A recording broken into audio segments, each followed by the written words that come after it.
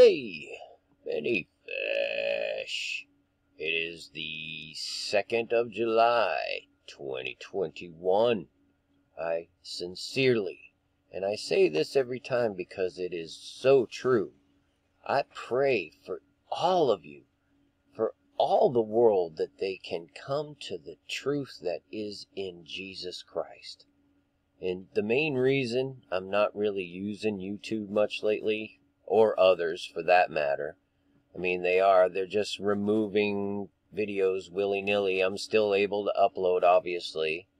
Uh, but let's face it, you know, YouTube, Google, Alphabet, on and on, you know, this family of companies are literally run by Satan's minions, period. They're influenced by these disembodied, wicked, rebellious spirits, and they're completely given over to as remember Geordie Rose's little talk that he had with all of us back in the day to reveal literally what's going on? He likes to call them the Lovecraftian ancient old ones, or you could say fallen angels, because that's what they are. And they're rebelling against God because they believe they can do a better job than God and be free to do as they will in liberty, licentious, not legitimate liberty. So let's just hear what Geordie said, uh, shall we? And listen, watch, and discern carefully.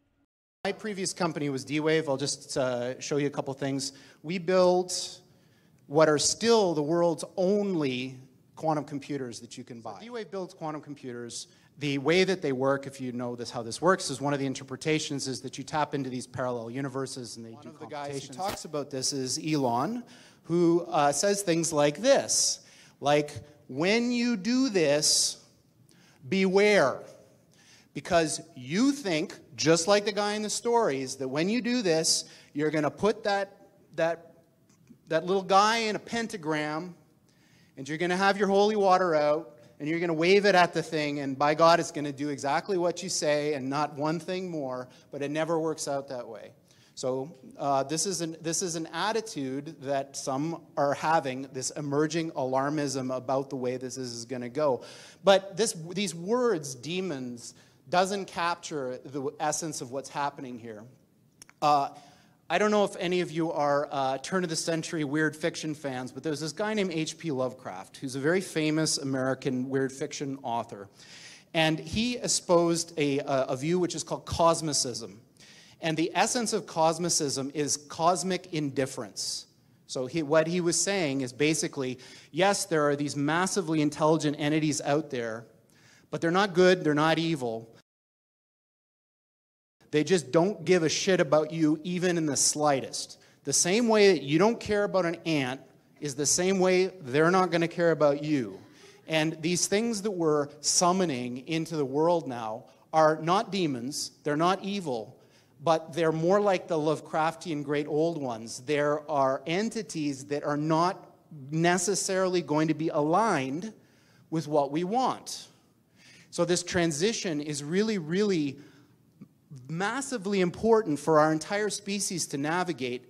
And going back to that thing that Sam Harris was saying, nobody is paying attention.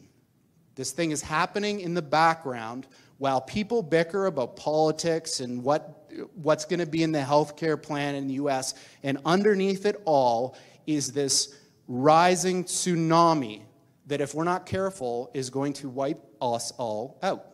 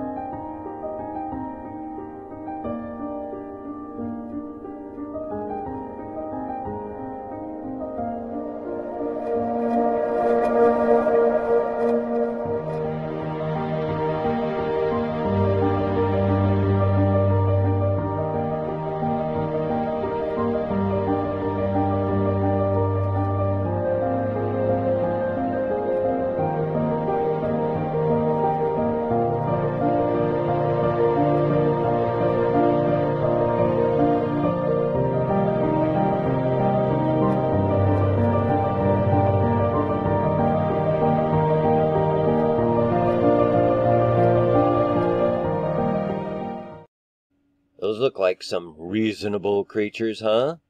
This is what will dictate the entirety of the digital realm as we're being told through our Nephilim loving minions at the World Economic Forum.